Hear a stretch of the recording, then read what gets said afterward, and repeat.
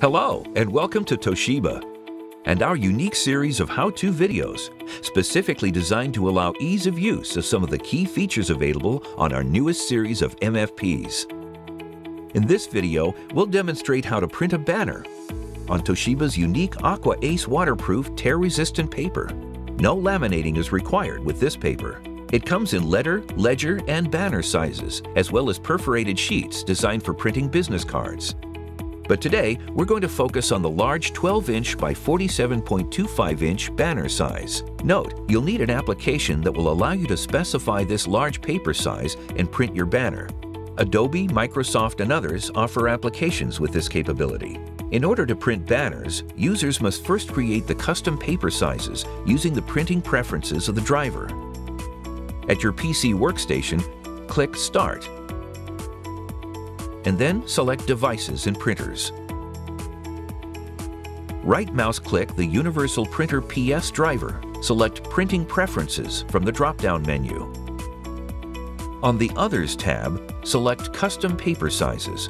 Note, if the Custom Paper Size button is grayed out, please talk to your network or IT administrator. Now press Add for name, type your name or banner so you'll be able to identify it later when you need to use this custom paper size. Type the following sizes. Length equals 12 inches. Width equals 47.24 inches. Click OK. Click OK to the confirmation dialog pop-up if it appears. Press OK. And select OK again to exit printing preferences.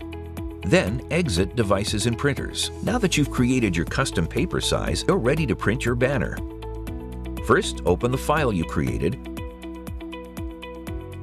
Select Print from the File menu. From the Name pull-down menu, select the Universal Printer PS driver, and then press Properties. On the Basic tab, select your custom Aqua Ace banner paper size. Using the name you gave it, as the original paper size. Confirm Size as Original Size in the Print Paper Size pull-down menu. The system will automatically select the bypass tray as the paper source for the banner paper. Select Special 1 paper from the Paper Type pull-down menu. Then press OK. Special 1 has the correct settings for adequate fusing of the toner to the paper when using Aqua Ace media. Next, click Print.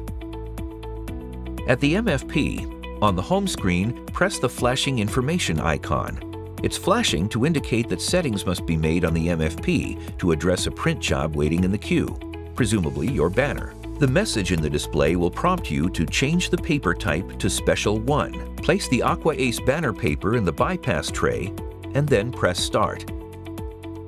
Banner printing really adds a new dimension of functionality to the MFP. Now, important messages can be produced quickly and easily in-house. Aqua Ace paper is available through Toshiba authorized resellers. We hope you found this how-to video informative. It's part of the comprehensive series that's available online. Thanks for viewing.